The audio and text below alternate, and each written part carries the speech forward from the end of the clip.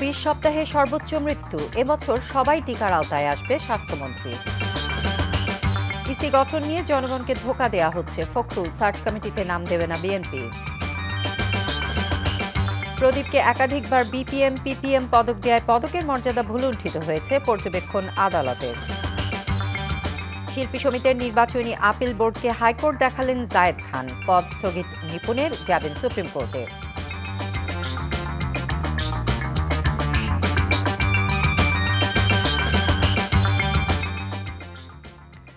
সালামু আলাইকুম, ফারহানা জামান টিউলিপ। স্বাগত জানাচ্ছি এনটিভির মধ্যরাতের খবরে।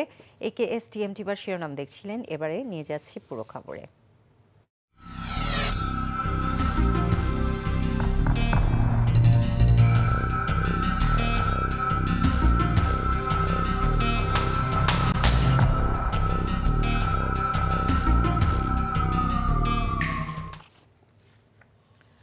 বিশ সপ্তাহের মধ্যে করোনায় সর্বোচ্চ মৃত্যু হয়েছে সবশেষ চব্বিশ ঘন্টায় আটত্রিশ জন। এর আগে গত বছরের উনিশ সেপ্টেম্বর তেতাল্লিশ জনের মৃত্যু হয়েছিল। সোমবার স্বাস্থ্য অধিদপ্তরের পাঠানো বিজ্ঞপ্তিতে জানানো হয়, সবশেষ চব্বিশ ঘন্টায় নতুন করে করোনা শনাক্ত হয়েছে নয় হাজার তিনশো উনসত্তর জনের। এ সময় শনাক্তের হার দাঁড়িয়েছে একুশ দশমিক শূন্য সাত শতাংশ। সবশেষ চব্বিশ ঘন্টায় আটত্রিশ জন সহ দেশে এই পর্যন্ত করোনায় মৃত্যু দাঁড়িয়েছে আঠাশ হাজার ছয়শো সাতাশ জনে। দেশে এ পর্যন্ত মোট করোনা শনাক্ত হয়েছে আঠেরো লাখ সত্তর হাজার নয়শো এক জনের, আর করোনা থেকে সুস্থ হয়েছেন ষোলো লাখ বারো হাজার সাতান্ন জন। এখন পর্যন্ত দেশের সত্তর শতাংশ ও লক্ষ্যমাত্রার বিরাশি শতাংশ মানুষ অন্তত এক ডোজ করোনার টিকা পেয়েছেন বলে দাবি করেছেন স্বাস্থ্যমন্ত্রী জাহেদ মালিক। সোমবার সকালে সচিবালয় মন্ত্রিসভার বৈঠক শেষে সাংবাদিকদের প্রশ্নের জবাবে এমন দাবি করেন তিনি। সব মানুষ আগ্রহী হয়ে এগিয়ে এলে ডিসেম্বরের মধ্যে দেশের সবাইকে প্রথম, দ্বিতীয়, এমনকি বুস্টার ডোজও দেওয়া সম্ভব হবে বলে জানান মন্ত্রী। রিপোর্ট করছেন রোকনুদ্দিন ঠিক এক বছর আগে সাতই ফেব্রুয়ারি দেশে শুরু হয়েছিল করোনার টিকাদানের আনুষ্ঠানিক কার্যক্রম। স্বাস্থ্য অধিদপ্তরের দেয়া হিসেব বলছে, এই সময়ে অন্তত এক ডোজ টিকা পেয়েছেন প্রায় দশ কোটি মানুষ আর দুই ডোজ পেয়েছেন প্রায় সাত কোটি মানুষ। তৃতীয় বা বুস্টার ডোজ দেবার কার্যক্রমও চলছে জোরে সোরে। তারপরও পার্শ্ববর্তী দেশ ভারতের চেয়ে টিকা দেবার হারে পিছিয়ে আছে বাংলাদেশ। গণমাধ্যমে এমন খবর এলেও স্বাস্থ্যমন্ত্রী বলছেন, ভিন্ন কথা। সেটা তাদের হিসাব বাট আমাদের হিসাবটা আমি আপনাকে দিলাম। এবং আমার যে হিসাবটা আছে সেটা সঠিক হিসাব, সেটা জেনেই বলছি। যে বলতে পারেন এখন থেকে যে আমাদের দেশের লোকের যে সত্তর পার্সেন্ট লোককে টিকা দেওয়া হয়েছে। এবং যদি কিনা আপনার টার্গেটেড পপুলেশন ধরেন, তাহলে প্রায় বিরাশি পার্সেন্ট লোককে দেওয়া হয়ে গেছে। আমাদের ফার্স্ট ডোজ সেকেন্ড ডোজ এবং বুস্টার ডোজ দিতে যে দশ কোটি লাগবে, সব মিলে যে যত টিকা লাগে, সব ব্যবস্থা আমাদের কাছে রয়েছে। এবং এর মধ্যে কোনো ঘাটতি হবে না। আমরা আশঙ্কা করছি যে কিছু টিকা আমাদের বেশি বেঁচে যেতে পারে। সব দেওয়ার পরেও যদি আমাদের যদি শত পার্সেন্ট আমরা না দিতে পারি তাহলে কিছু টিকা আমাদের কাছে রয়ে যেতে পারে। সব ঠিকঠাক থাকলে এবছরের শেষ নাগাদ দেশের নির্ধারিত সব মানুষকে বুস্টার ডোজ সহ করোনার টিকার আওতায় আনা সম্ভব হবে বলেও আশাবাদ স্বাস্থ্যমন্ত্রীর। বেশিরভাগ লোক বা জুন জুলাই বুস্টার সহ তারা পেয়ে যাবে এবং বুস্টার ডোজের তো একটা সময় থাকে। সেই সময় যদি আমরা ধরি তাতে আমাদের হিসাব করলে আমরা গতকালই মিটিং করেছি, তাতে এই বছরের শেষ নাগাদ বুস্টার সহ সকলেই ই হয়ে যাবে, পেয়ে যাবে আর কি।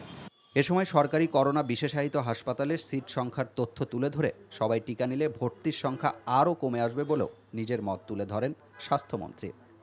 Rokonuddin NTV news, Dhaka. বিচ্ছিন্ন কিছু ঘটনার মধ্য দিয়ে সোমবার সপ্তম ধাপে একশো আটত্রিশটি ইউনিয়ন পরিষদ নির্বাচনের ভোট গ্রহণ শেষ হয়েছে। চট্টগ্রামের সাতকানিয়ায় আওয়ামী লীগ ও স্বতন্ত্র প্রার্থীর সমর্থকদের সংঘর্ষে স্কুল ছাত্রসহ দুজন নিহত হয়েছে। সংঘর্ষের কারণে খাগড়িয়া ইউনিয়নের দুটি কেন্দ্রে ভোট গ্রহণ স্থগিত করেছে নির্বাচন কমিশন। ডেস্ক রিপোর্টে বিস্তারিত। ভোট গ্রহণ শুরুর পর সাতকানিয়া উপজেলার খাগড়িয়া ইউনিয়নে স্বতন্ত্র চেয়ারম্যান প্রার্থী জসিমুদ্দিনের সমর্থকদের সাথে আওয়ামী লীগের প্রার্থী আক্তার হোসেনের সমর্থকদের সংঘর্ষ হয়। এতে অন্তত পাঁচজন আহত হয়েছে। এ ঘটনার পর দুটি কেন্দ্রে ভোট গ্রহণ স্থগিত করেছে নির্বাচন কমিশন। অপরদিকে একই উপজেলার নলুয়া ইউনিয়নের একটি কেন্দ্রে বহিরাগতদের হামলায় এক স্কুল ছাত্র নিহত হয়েছে। আর বাজালিয়া ইউনিয়নেও সংঘর্ষে আব্দুস শুক্কুর নামে বহিরাগত এক যুবকের মৃত্যু হয়েছে। দুটি জায়গায় কিছু বিচ্ছিন্ন ঘটনা ঘটেছে এবং বেশ কিছু হতাহতের ঘটনাও ঘটেছে।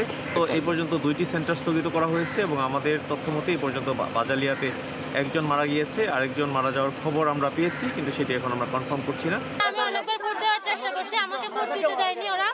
আরও জোর করে আমার হাতটা নিয়ে আমার হাতে টিপছই ছাড়া ভোটের দাগটা দিয়ে দিছে। হঠাৎ করে ভিতর থেকে বিশৃঙ্খলা শুরু করে দিয়েছে।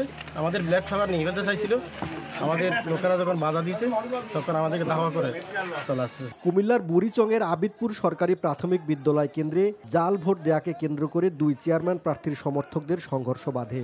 পরিস্থিতি নিয়ন্ত্রণে আনতে গুলি করে আইনশৃঙ্খলা বাহিনী।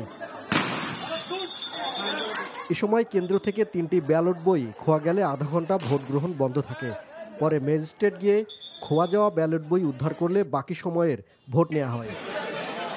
রংপুরের মিঠাপুকুরের ভাঙনি ইউনিয়নের একটি কেন্দ্রে এবং কুমিল্লার বুড়িচং উপজেলার পীর যাত্রাপুর ইউনিয়নের একটি কেন্দ্রে জাল ভোট দেওয়ার সময় ছয়জনকে আটক করেছে আইনশৃঙ্খলা বাহিনী। রাঙামাটির তিনটি উপজেলার সতেরোটি ইউনিয়নের ভোট গ্রহণ শেষ হয়েছে। ভোট গ্রহণের জন্য সাজেকের রিসোর্ট ও কটেজ দুই দিনের জন্য বন্ধ ঘোষণা করেছে নির্বাচন কমিশন। অন্যান্য ইউনিয়ন পরিষদেও শান্তিপূর্ণভাবে ভোট গ্রহণ শেষ হয়েছে। এর আগে সোমবার সকাল থেকে শীত উপেক্ষা করেই ভোটারদের লাইনে দাঁড়িয়ে ভোট দিতে দেখা গেছে। একশো আটত্রিশটি ইউনিয়ন পরিষদের মধ্যে নয়টিতে ইভিএম এবং বাকি একশো উনত্রিশটিতে ব্যালট পেপারে ভোট নেওয়া হয়েছে। সপ্তম ধাপেও একাত্তর জন প্রার্থী বিনা প্রতিদ্বন্দ্বিতায় নির্বাচিত হয়েছেন। ওয়ালিউল্লাউলি এনটিভি নিউজ ডেস্ক। রাজনৈতিক দলগুলোর কাছে সার্চ কমিটির নাম চাইলেও বিএনপির পক্ষ থেকে নির্বাচন কমিশনারদের কোনো নাম দেওয়া হবে না বলে জানিয়েছেন দলটির মহাসচিব মির্জা ফখরুল ইসলাম আলমগীর। নির্বাচন কমিশন গঠন আইন ও সার্চ কমিটির নামে জনগণকে ধোঁকা দেওয়া হচ্ছে বলেও অভিযোগ তার। সার্চ কমিটিতে আওয়ামী লীগের লোকই বেশি বলেও অভিযোগ করেন বিএনপি মহাসচিব। সোমবার সকালে রাজধানীর একটি হাসপাতালে বিএনপির চিকিৎসাধীন এক নেতাকে দেখতে গিয়ে এসব কথা বলেন ফখরুল। রিপোর্ট করছেন হাসান জাভেদ। প্রধান নির্বাচন কমিশনার ও অন্যান্য কমিশনার নিয়োগে ছয় সদস্যের সার্চ কমিটি কাজ শুরু করেছে। রোববার কমিটির প্রথম বৈঠকে সব নিবন্ধিত রাজনৈতিক দলগুলোর কাছে নির্বাচন কমিশনারদের নাম চাওয়ার সিদ্ধান্ত হয়। বিএনপি সার্চ কমিটির কাছে নাম প্রস্তাব করবে কিনা জানতে চাওয়া হয় দলটির মহাসচিবের কাছে। আওয়ামী লীগ নিজেদের ক্ষমতায় টিকে থাকার জন্য, আবার ক্ষমতায় যাওয়ার জন্য যা যা করা দরকার তাই করছে। অর্থাৎ তারা আপনার আইন আইনও করেছে, একটা প্রণয়ন করে নিয়েছে। এই সার্চ কমিটির মধ্যেও আপনারা নিশ্চয়ই লক্ষ্য করেছে যে বেশিরভাগ মানুষই আওয়ামী লীগের সঙ্গে সম্পৃক্ত। এবং একজন আছেন যিনি আপনার আওয়ামী লীগের নমিনেশন চেয়েছেন আমাদের কাছে এগুলোর কোনো মূল্য নেই। অর্থহীন, আমরা কোনো নাম দেওয়ার তো প্রশ্নই উঠতে পারে না। কারণ আমরা গতবারের অভিজ্ঞতা, তার আগের অভিজ্ঞতা থেকে দেখেছি, এগুলোতে কোনো লাভ হয় না। সরকার যে থাকে, তার যে পছন্দনীয় কমিশন তারা তৈরি করবে, সেটাই তারা করে। দেশে আইনের শাসন ও মানবাধিকার নেই, যা আন্তর্জাতিকভাবে স্বীকৃত বলেও উল্লেখ করেন মির্জা ফখরুল। বিএনপি নেতাকর্মীদের গুম খুনের বিষয়ে সম্প্রতি পররাষ্ট্রমন্ত্রী যে ব্যাখ্যা দিয়েছেন, তা তাকেই প্রমাণ করার দাবি জানান। যাদের সন্তান গেছে, যার স্বামী গেছে, যাদের পরিজন গেছে, তাদেরকে বাংলাদেশের সমস্ত মানুষ জানে যে তাদেরকে আইন শৃঙ্খলা রক্ষাকারী বাহিনীতে তুলে নিয়ে গেছে। এই সরকার তো এখন পর্যন্ত সেই জবাব দেয়নি। আমি পররাষ্ট্রমন্ত্রীকে আজকে আপনাদের সকলের সামনে তাকে আমি জিজ্ঞাসা করতে চাই যে কারা কারা ভূমধ্য সাগরে শরীর সমাধি হয়েছে, তাদের নামগুলো প্রকাশ করুন। যারা গুম হয়েছে, তাদের মধ্যে কারা কারা গেছে এবং তাদেরকে আমরা এটা মনে করব যে আপনারা জানেন যে ভূমধ্য সাগরে কাদেরকে কাদেরকে আপনারা শরীর সমাধি করেছেন? আমি জিনিসটা জানতে চাই। গত শুক্রবার দুর্বৃত্তদের হামলায় আহত হন নাটোরের গুরুদাসপুর উপজেলা বিএনপির সভাপতি আব্দুল আজিজ। রাজধানীর একটি বেসরকারি হাসপাতালে তার চিকিৎসা চলছে। সোমবার তাকেই দেখতে যান বিএনপি মহাসচিব। Hasan Javed NTV news, Dhaka. Lobbyist নিয়োগ সহ নিজেদের বিভিন্ন অপকর্ম ঢাকতে বিএনপি সরকারের নানা কর্মসূচি নিয়ে অহেতুক প্রশ্ন তুলছে বলে মন্তব্য করেছেন তথ্যমন্ত্রী ডক্টর হাসান মাহমুদ। সোমবার দুপুরে সচিবালয়ে সাংবাদিকদের সাথে মত বিনিময়কালে তিনি এমন মন্তব্য করেন। বিএনপি দেশের টাকা বিদেশে পাচার করে সেই টাকা দিয়ে দেশের বিরুদ্ধেই ষড়যন্ত্র করেছে, উল্লেখ করে হাসান মাহমুদ বলেন, লবিস নিয়োগের প্রমাণ আদি উন্মোচন করার পর বিএনপি নেতারা চুপসে গেছেন। এজন্যই তারা সরকারের বিভিন্ন কর্মসূচি নিয়ে অহেতুক প্রশ্ন তুলছে বলেও জানান তিনি। এসব করে বিএনপি ঘোলা পানিতে মাছ শিকার করে দেশের ভেতর অস্থিরতা তৈরি করতে চায় বলেও উল্লেখ করেন তথ্যমন্ত্রী। এসবের দায়ে বিএনপির বিরুদ্ধে আইনগত ব্যবস্থা নেওয়া উচিত বলেও উল্লেখ করেন তিনি। তাদের অপকর্ম দেশের মানুষের কাছে যখন উন্মোচিত হলো, তখন তাদের আর কোনো জবাব নাই। সেই জন্য তারা এখন নানা প্রশ্ন উপস্থাপন করার চেষ্টা করবে। তাদের অপকর্মকে ঢাকার জন্য নানা কথা বলবে। এটি খুবই স্বাভাবিক। রাজনৈতিক দলের মহাসচিব যখন দেশকে সাহায্য বন্ধ করে দেওয়ার জন্য চিঠি লিখে বা সেই সাহায্যকে দেশের বিরুদ্ধে অস্ত্র হিসেবে ব্যবহার করার জন্য বলে, অবশ্যই আমি ব্যক্তিগতভাবে মনে করি সেই রাজনৈতিক দলের এবং যিনি চিঠি দিয়েছেন তার বিচার হওয়া প্রয়োজন। বিদেশগামী শ্রমিকরা যেন তার কর্মস্থলে যাওয়ার আগে প্রবাসী কল্যাণ মন্ত্রণালয়ে খোঁজ খবর নেয়, সেজন্য সরকারি প্রচারণা বাড়ানোর নির্দেশ দিয়েছেন প্রধানমন্ত্রী শেখ হাসিনা। সোমবার মন্ত্রিপরিষদ বৈঠকে এমন নির্দেশনা দেন তিনি। বৈঠক শেষে ব্রিফিংয়ে একথা জানান মন্ত্রিপরিষদ সচিব। এর আগে সকাল দশটায় প্রধানমন্ত্রী শেখ হাসিনার সভাপতিত্বে মন্ত্রিপরিষদের নিয়মিত বৈঠক অনুষ্ঠিত হয়। প্রধানমন্ত্রী তার সরকারি বাসভবন, গণভবন থেকে ভার্চুয়ালি এই বৈঠকে যোগ দেন। ব্যক্তি পর্যায়ে এবং উৎপাদন কাজ ব্যতীত।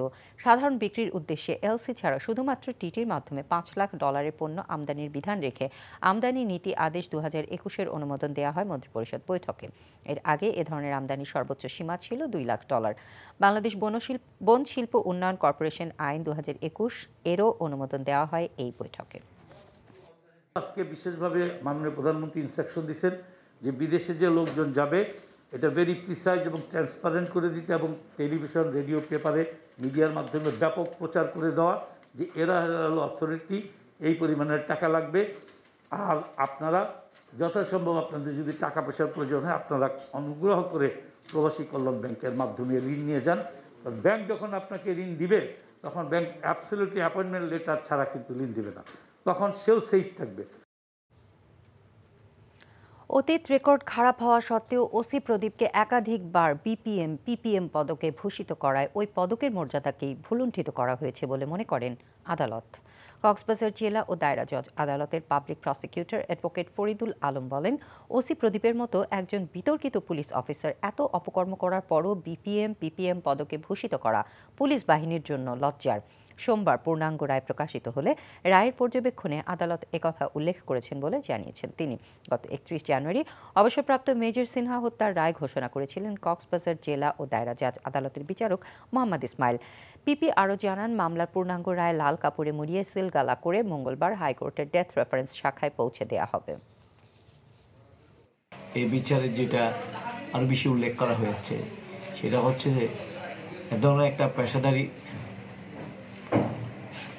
আইনশৃঙ্খলা বাহিনী সংগঠনের মধ্যে একটা পদক পেতে গেলে বিভিন্ন ধাপ পেরিয়ে যেতে হয়।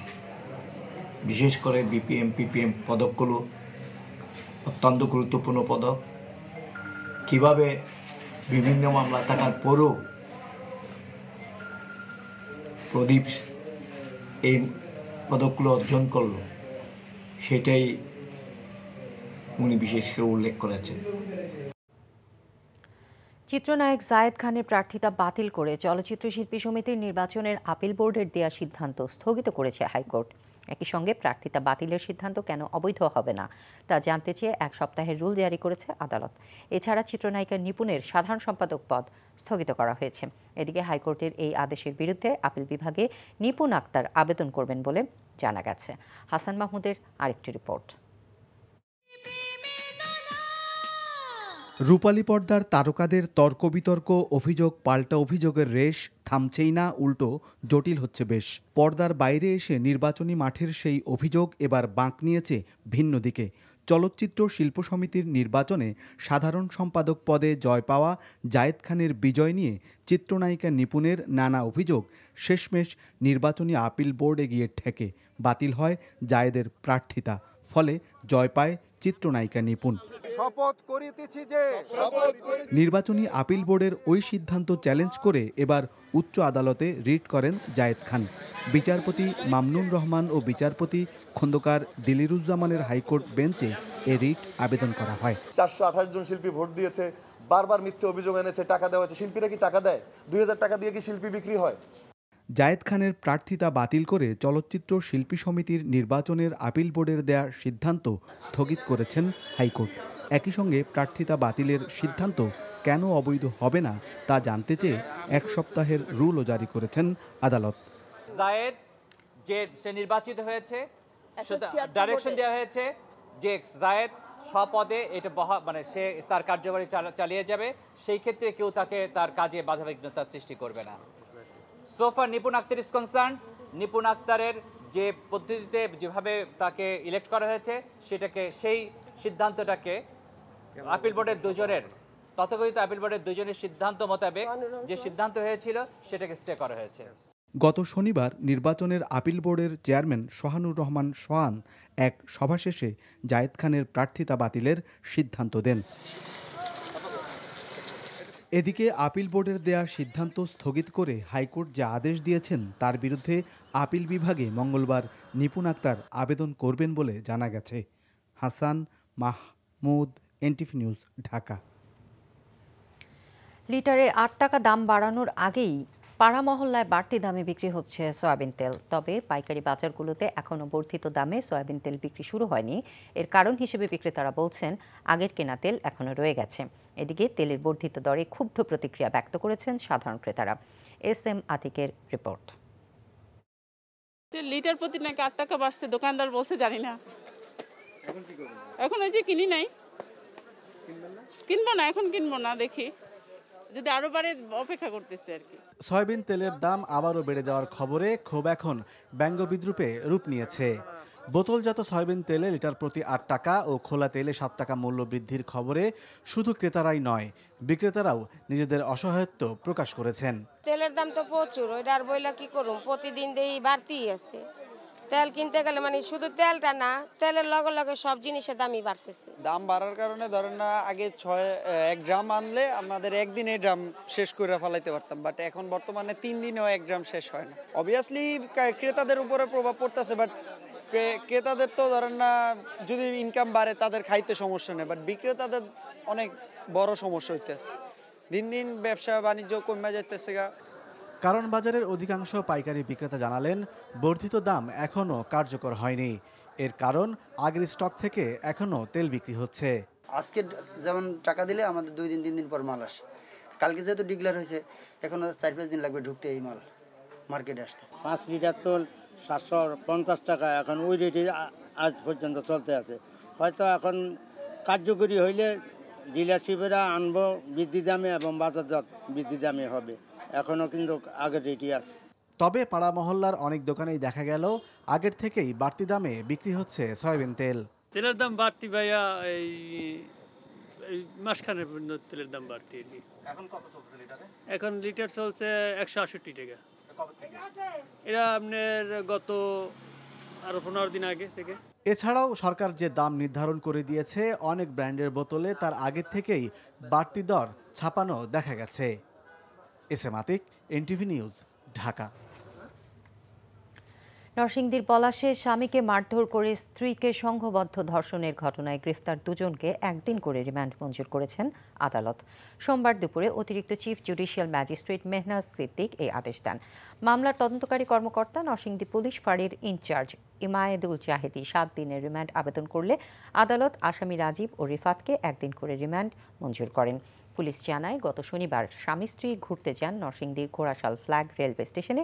সেখানে পরিচয় জিজ্ঞাসা করে ওই নারীর স্বামীকে মারধর করে তিন যুবক, পরে রেল লাইনের মাঝে একটি নির্জন স্থানে নিয়ে গৃহবধূকে সংঘবদ্ধ ধর্ষণ করা হয়।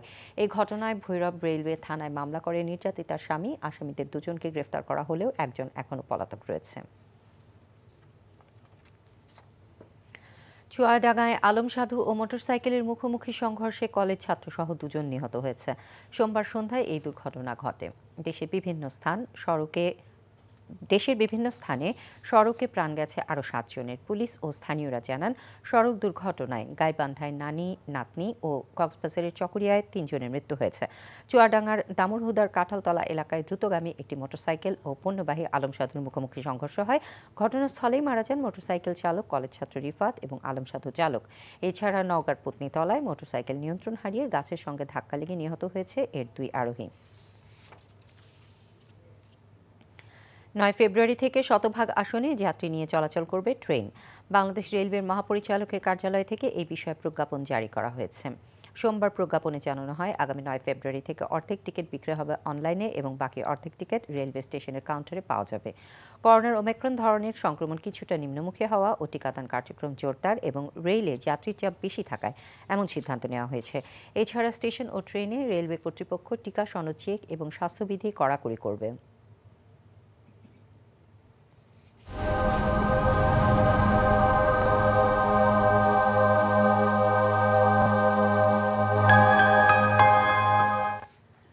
আন্তর্জাতিক সংবাদ। ইউক্রেন সংকট সমাধানে রাশিয়া সফরে গেলেন ফ্রান্সের প্রেসিডেন্ট ইমানুয়েল ম্যাক্রো। সোমবার রুশ প্রেসিডেন্ট ভ্লাদিমির পুতিনের সঙ্গে বৈঠক করেছেন তিনি। এ সময় ইউক্রেনের নানা ইস্যু নিয়ে আলোচনা করেন দুই নেতা। বৈঠক শেষে প্রেসিডেন্ট পুতিন বলেন, ওই অঞ্চলে যে কোনো সহিংসতা পুরো ইউরোপের জন্যই হুমকি। অন্যদিকে সংকট সমাধানে মধ্যস্থতার প্রস্তাব দিয়ে চলমান উত্তেজনায় উদ্বেগ প্রকাশ করেন ফরাসি প্রেসিডেন্ট।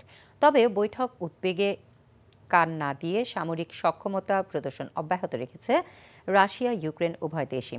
এদিকে উত্তেজনা প্রশমনে মস্কো সফরের কথা জানিয়েছেন ব্রিটিশ পররাষ্ট্রমন্ত্রী লেস ট্রাস। অন্যদিকে প্রেসিডেন্ট পুতিনের আমন্ত্রণে সাড়া দিয়ে চলতি মাসেই রাশিয়া সফরের কথা জানিয়েছেন পাকিস্তানের প্রধানমন্ত্রী ইমরান খান।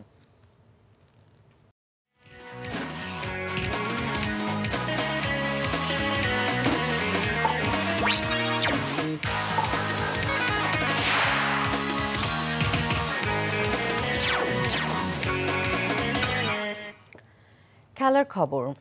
একশো কোটি টাকা ব্যয়ে চলছে দেশের ক্রীড়াঙ্গনের আইকন ভেন্যু বঙ্গবন্ধু স্টেডিয়ামের সংস্কার কাজ। সাতটি ধাপে এই সংস্কার চলবে। জাতীয় ক্রীড়া পরিষদ আশা করছে চলতি বছরের শেষ নাগাদ এই ভেন্যু পরিপূর্ণ হয়ে দাঁড়াবে। যদিও কাজ নিয়ে কিছুটা সংশয় থাকছেই, জানাচ্ছেন সুব্রত সাহা। বঙ্গবন্ধু স্টেডিয়াম, যা বাংলাদেশের ক্রীড়াঙ্গনের ইতিহাসের সাথে জড়িয়ে থাকা এক নাম। জন্মলগ্ন থেকে যে স্টেডিয়ামটি অ্যাথলিট থেকে শুরু করে দেশের আন্তর্জাতিক সাফল্যের গর্বিত অংশীদার। দু হাজার এগারো সালের আইসিসি বিশ্বকাপের উদ্বোধনী অনুষ্ঠানের জন্য এর সংস্কার প্রয়োজন হয়েছিল। পরে লিওনেল মেসির আর্জেন্টিনার সাথে নাইজেরিয়া ম্যাচের জন্য সংস্কার করা হয় ড্রেসিং রুম সহ অন্যান্য জায়গায়। ওই ইভেন্টের পর অনেকটাই যেন অযত্ন আর অবহেলার মধ্যেই ছিল মাঠটি। অবশেষে স্টেডিয়ামটি আবারও সংস্কার করা হচ্ছে। বিশাল বাজেটের এই কর্মযজ্ঞ চলছে সাতটি ধাপে। মাঠে পানি জমে থাকবে না। হ্যাঁ পানি নিষ্কাশনটাও খুব ভালো হবে এবং এই এই সিস্টেমে যে যে সিস্টেমে মাঠটা করা হয়েছে আগে কখনো ছিল না বঙ্গবন্ধু স্টেডিয়ামে বড় মাপের সংস্কার কাজ চালিয়ে বঙ্গবন্ধু স্টেডিয়ামের যে ঐতিহ্য আর আভিজাত্য সেই ঐতিহ্য আর আভিজাত্যকে ফিরিয়ে আনার চেষ্টা চালাচ্ছে জাতীয় ক্রীড়া পরিষদ। তাদের আশা এই বছর নাগাদ মাঠটিকে খেলার জন্য পুরোপুরি প্রস্তুত করে তোলা যাবে। যদিও সেখানে সবচেয়ে বড় চ্যালেঞ্জের জায়গা থাকবে উন্মুক্ত গ্যালারিতে চেয়ার বসানো এবং শেড দিয়ে সেটিকে ঢেকে দেবার ব্যবস্থা করা।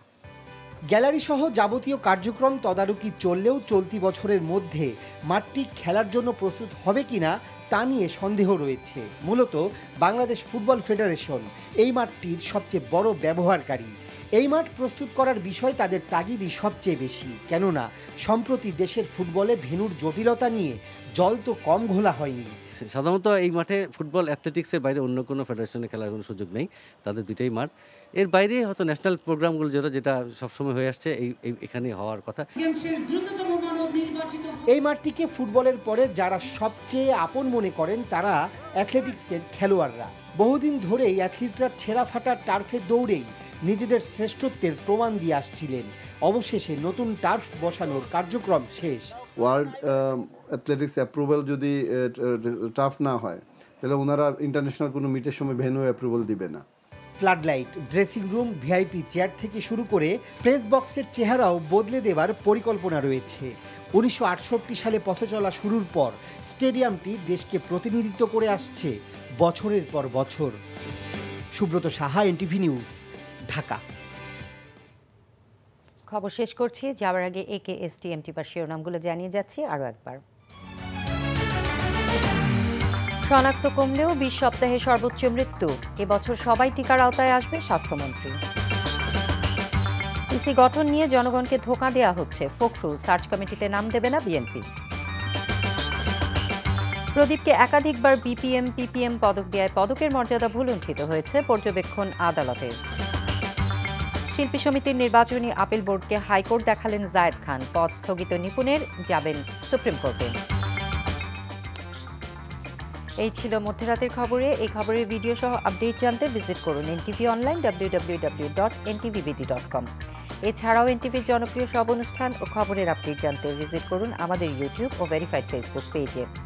সকাল সাড়ে সাতটায় সকালের খবর, দেখার আমন্ত্রণ রইল। ধন্যবাদ সবাইকে। শুভরাত্রি।